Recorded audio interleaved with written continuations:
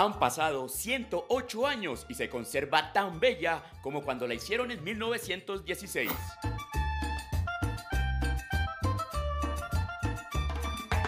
La Copa América está en Colombia y llegó a Red Más Noticias después de recorrer varios países rumbo a su destino final, Estados Unidos. Esta copa tiene un recorrido muy, eh, muy amplio y es que eh, viene desde Argentina, ha estado en Argentina, país que pues es el último eh, ganador de la copa y que ha, levantado este, este trofeo, pasó por Argentina, estuvo en Chile, en Uruguay, Ecuador y viene justamente desde Brasil.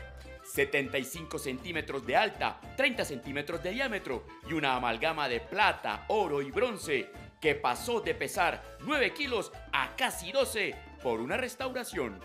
Tuvo una restauración y es que así como la vemos se restauró otra vez en Argentina y tiene otra base, se incluyó otra base para, que, para poder incluir al próximo ganador.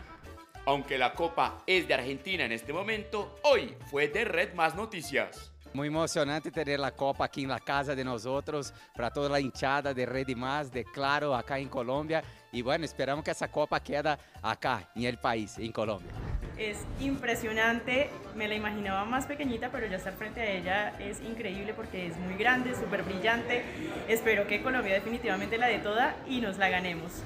Bueno, la copa no me la imaginaba tan alta, me pareció divina, es espectacular, tiene un brillo fantástico y al lado de ella uno respira como un aire de grandeza, tiene unos detalles muy bonitos, me encantó tenerla en Red Más Noticias, ojalá se quede en Colombia.